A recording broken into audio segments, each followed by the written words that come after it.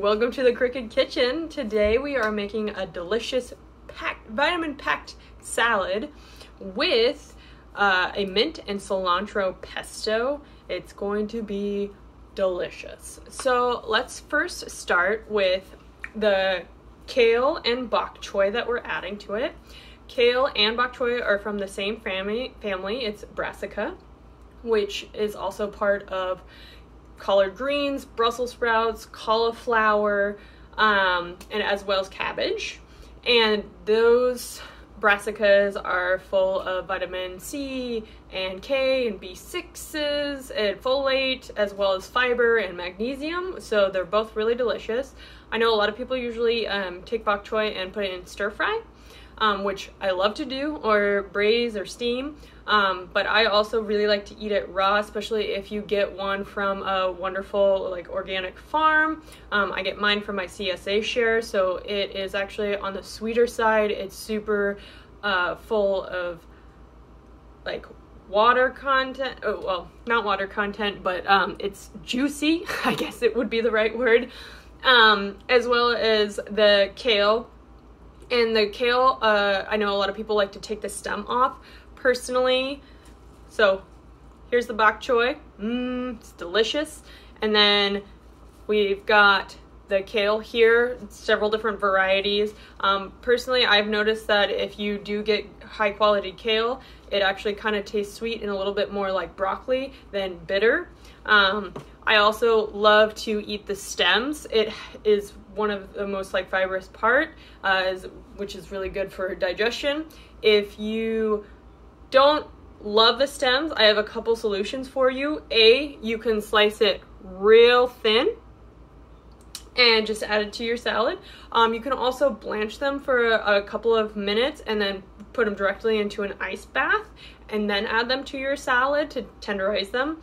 Um, you can also, kind of like with a broccoli stem, you can peel back that bitter part and expose oh the really nice tender part of the stem, which is delicious. Hmm, hmm, hmm. And it gets rid of that tough outer side. Love it. And then, so after you kind of slice those up, what you want to do with, um, especially with kale salads, is add a little bit of salt, a nice sprinkle, and then massage that into the kale. And make sure, like, you know, don't be super delicate with it. You want to kind of really break that down and tenderize it. So while we're, sorry, I, got out of the screen. Um, while we're letting that sit and tenderizing our little kale, what we're going to do is make the vinaigrette. So what I have here is one cup of mint leaves. You can cut it, pre-cut it before you put it in the blender, or if you're um, making it by hand, definitely ch uh, chop it up. Um, so we're gonna add that cup of mint. I'm taking a clean bunch, uh, half bunch of cilantro, so stems and all wonderful. Cilantro, just so we know, is um, known to help lower blood sugar as well as boost immunity. Um, and it's anti-inflammatory. Uh, mint is great for stimulating uh, your brain and it is also wonderful just for flavor wise as well as um, it's just soothing to me. I love mint tea when I just want to chill out and relax. So, sorry, I just stretched it out.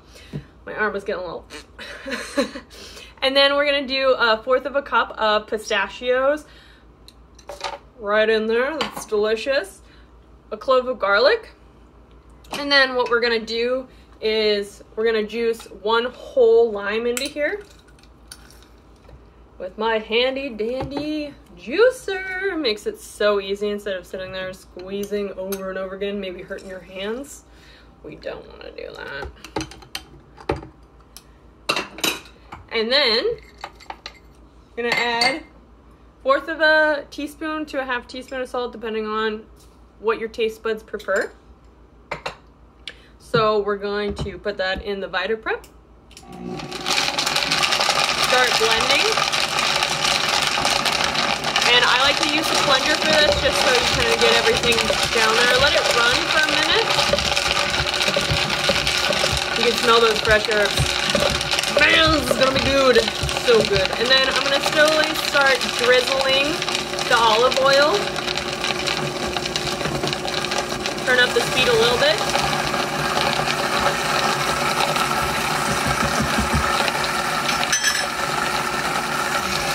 Just let it run. Again, I'm gonna turn it off. Make sure to scrape down the sides.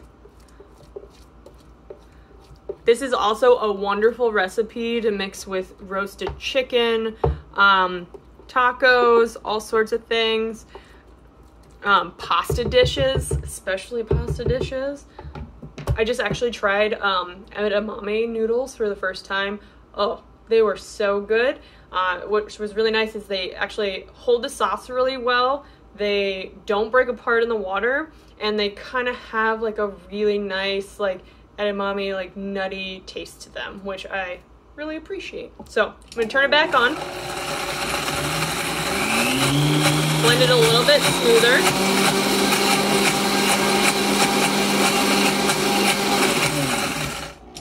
Boom.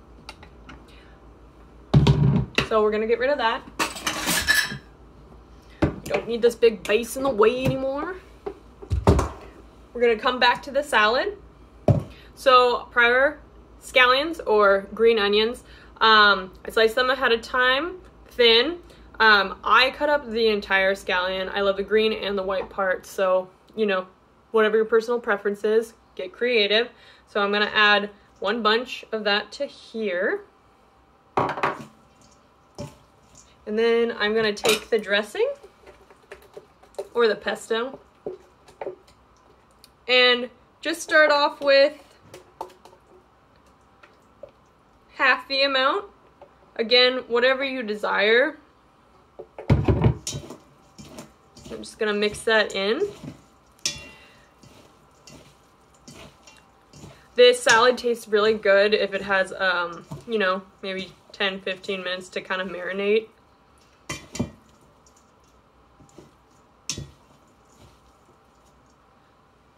Um, with the bok choy, I forgot to mention, um, I did two smaller uh, bundles of bok choy, um, but you, if you have a larger one, definitely just use one.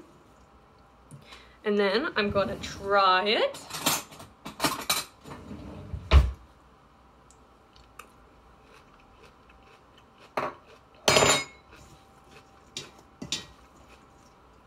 Nicely done.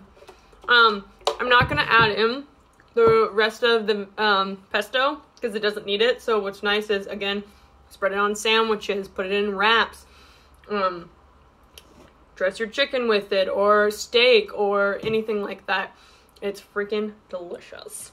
So what I'm gonna do is put the salad into a nice serving bowl because you know I like things to look nice. And that's not it. That's not the whole salad. So just remember, we're getting creative here. Um, what I like to do next is I've got some rainbow radishes here. So I'm gonna kind of set those on top. It's gonna look real nice. It's gonna add a little bit of spice to it. Um, again though, if you don't like radishes, leave the radishes out. Put something else in there. Mmm, my favorite.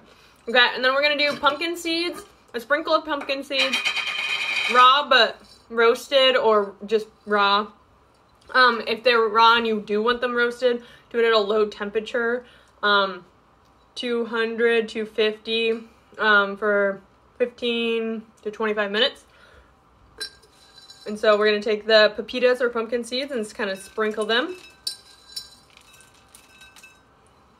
over the top as well as hemp seeds. Hemp seeds and pumpkin seeds are both great sources of protein and healthy fat. You can also add the hemp seeds to the pesto if you so desire, if you just don't want that um, just sprinkled on the top. And then we have this gorgeous salad. And what's nice about this is you know, you've got the crunchiness of the radishes and the bok choy that's a little bit of sweet, and you got the heartiness of the kale and, you know, the healthy fats and proteins. Again, you can add anything like grilled chicken to this. You can add um, uh, baked salmon to this, would be amazing. Or it can just be served as a side salad um, with some other roasted vegetables and, you know, pureed lentils or chickpeas or anything like that. So that's a good salad for you and your body and your mind. So nourish yourself. Um, if you have any questions or comments, feel free to put it down below. Thank you for listening to The Crook'd Kitchen, and I will see you later.